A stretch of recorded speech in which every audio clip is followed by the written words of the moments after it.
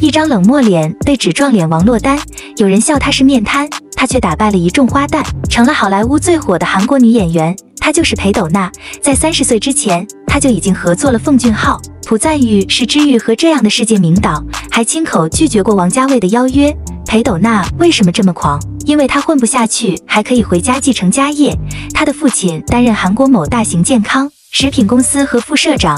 母亲同样出身名门，在嫁到裴家当腻了家庭主妇后，跑去做了舞蹈剧演员。但即便在母亲的熏陶下，做演员依旧不是裴斗娜的第一志愿。理由是她觉得自己不好看，长得高挑，但身材单薄，一张冷淡脸，完全没有明显那点明媚的感觉。但命运从来不是按照感觉走，裴斗娜成为演员的契机，让她现在想起来还是会觉得荒唐。十九岁那年，她走在街上，被一名模特经纪人看中，兼职模特的同时。还收到了韩版《午夜凶铃》的邀约，片方让她饰演贞子，本来就露不了脸，还现场给他出了一个钻电视机的难题。他消瘦的身材正好派上了用场，从四十二寸试到了二十四寸。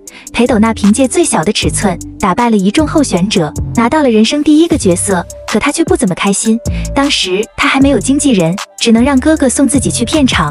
结果到了午饭时间，导演给了裴斗娜盒饭，却说没有他哥哥的份。为此。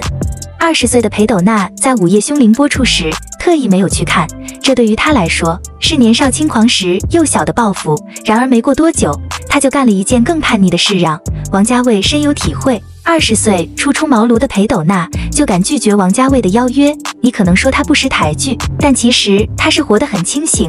那时的他刚刚出道，拍了一部青春片《学校》。一部恐怖片零，别说是代表作了，就连看过这两部片子的人都少。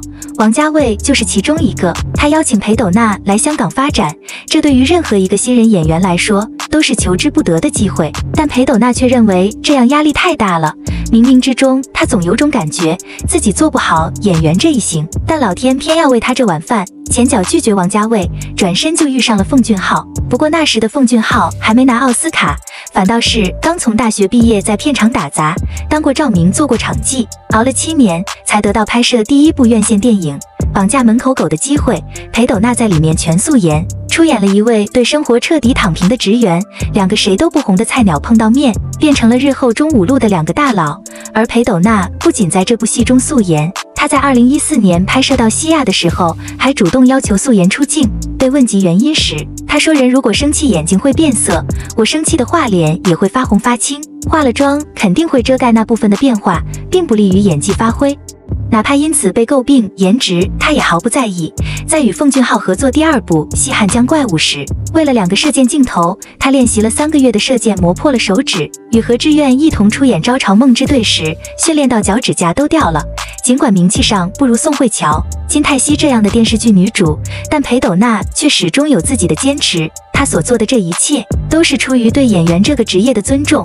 毕竟她曾说，如果不认真演的话，会觉得是在骗人。见面就让孔刘扇自己巴掌的裴斗娜有多离谱？孔刘震惊的瞳孔告诉你，他从未见过如此无理的要求。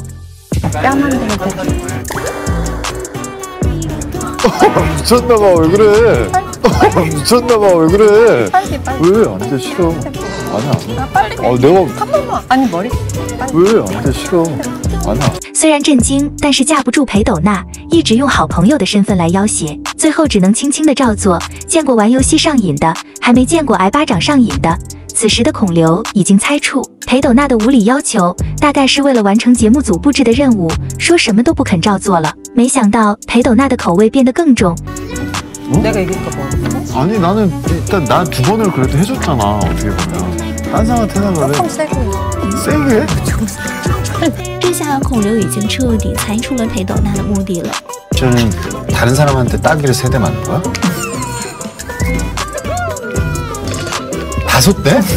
但事实真的是这样吗？ 裴斗娜的任务是让对方说出拜托停止吧。当裴斗娜苦恼该怎么做时，罗 PD 给出的建议是找一个好欺负的朋友。结果他第一个想到的就是孔刘，两人相遇相杀也不是一时半会了。在孔刘介绍自己在寂静的大海出演的角色时，裴斗娜一直在和金善映眉来眼去，让孔刘当场罢工。 최고로 여, 생각하는? 아, 안 할래. 아니, 김인철 씨. 야, 어차피 너무 아니, 아는데. 等到等到裴斗娜介绍自己的角色时，孔刘又故意拿出手机玩，他问这是对我的报复吧？没想到孔刘竟然当场承认， 순진하게 아까 거 복수하는 거야. 어, 미안해, 맞아.